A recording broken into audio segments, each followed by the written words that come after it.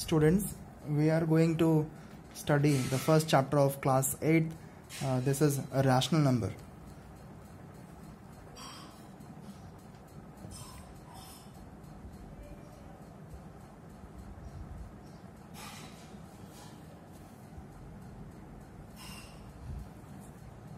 First have a look on its definition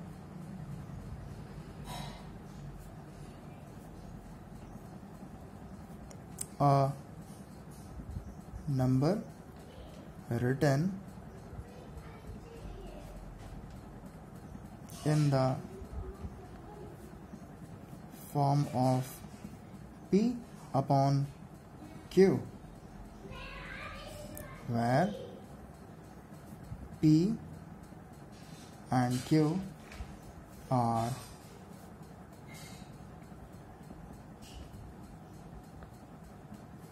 integer. And the denominator q should not be equal to 0 this is a rational number. For example 5 upon 8 is a rational number. 0 upon 8 is a rational number. Minus 3 upon 8 is a rational number. But you can say uh, that 7 upon 0 is not a rational number. Got it? So uh, let us see what is the number in lowest terms.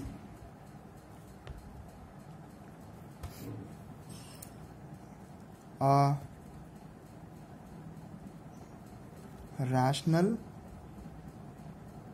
number P upon Q is said to be in the lowest terms if P and Q have no common factor other than 1 for example 3 upon 10 is in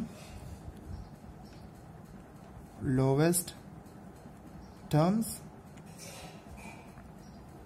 but 15 upon 25 is not in the lowest term.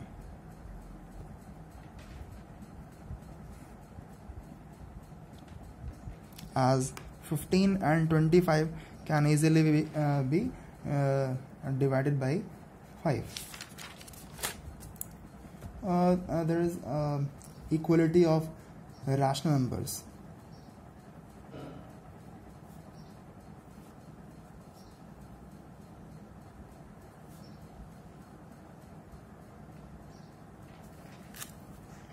uh, if we take the example 5 upon 7 equals to 10 upon 14 and if we have to verify uh, whether these uh, rational numbers are equal or not um, uh, so we can use the cross multiplication uh, method.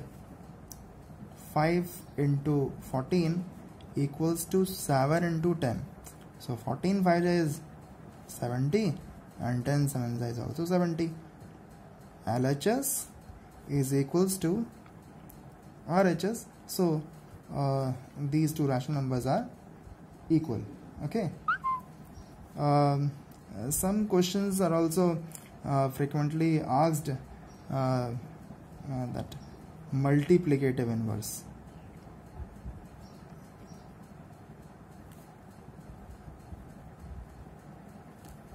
okay. Multiplicative inverse. Uh, this is also uh, known as reciprocal. Okay.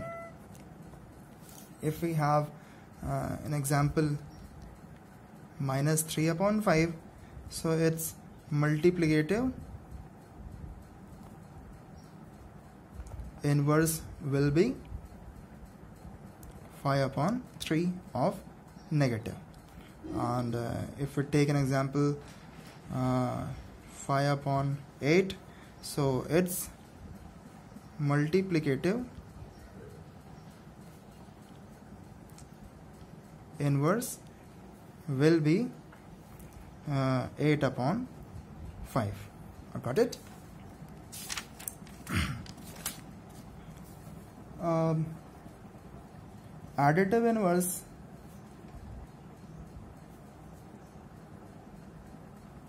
is also uh, one of the frequently asked uh, questions. In additive inverse we just um, uh, add a zero uh, add a, a, negative sign or remove the negative sign. For example uh, minus 3 upon 5 it's additive inverse will be 3 upon 5 okay? And if we have a, a positive rational number suppose I take uh, uh, 7 upon 11 so its additive inverse uh, will be minus 7 upon 11 got it? Um, so uh, the next topics uh, will take in uh, the second lecture okay